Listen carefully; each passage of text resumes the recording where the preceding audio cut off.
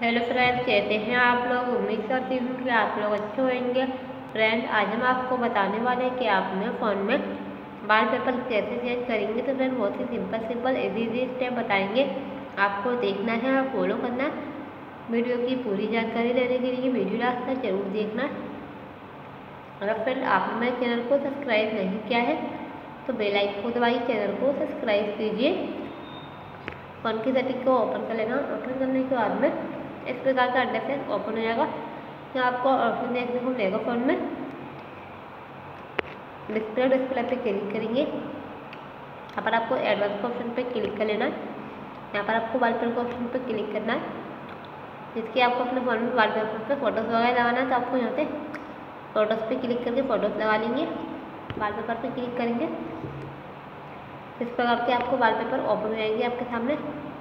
आप जैसे अपने फ़ोन में वॉलपेपर चेंज करने जाते हैं तो इस प्रकार के वॉलपेपर आपके सामने ओपन होंगे। आप जैसे अपने फ़ोन में वॉलपेपर सिलेक्ट कर लेंगे। जैसे अपने फ़ोन में वॉलपेपर सिलेक्ट करेंगे और वॉलपेपर आपको चेंज करना है तो आप जैसे अपने फ़ोन में वॉलपेपर चेंज कर लेंगे। जो भी रखना है, आप अपने हिसाब से सेट कर लेंगे।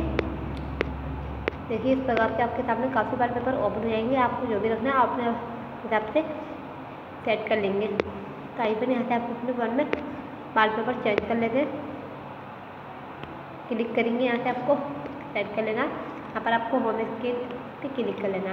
तो इस प्रकार आपने फ़ोन में वाल पेपर चेंज करेंगे। आइए फिर आपको चेक कराए थे मेरे फ़ोन में जो है वाल पेपर चेंज हो चुका है। इस प्रकार आपने फ़ोन में वाल पेपर चेंज करेंगे। आइए तो अगर आपको मेरी वीडियो अच्छी लगी हो गाइस तो वीडियो को शेयर करें लाइक करें। चैनल पर नए हो तो चैनल को सब्सक्राइब करें।